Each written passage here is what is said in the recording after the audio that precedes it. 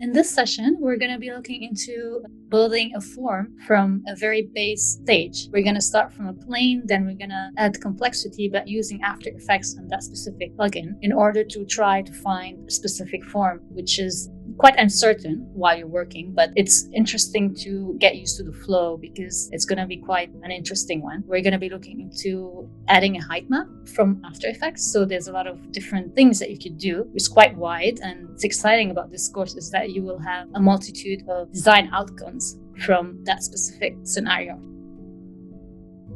We're gonna dive into building the form from scratch. So we're gonna start building up noises and maps and adding more fractals and experimenting with the parameters that we have. Every time we have a frame that we actually like or we're actually trying to build a narrative from, we need to animate it with specific storytelling.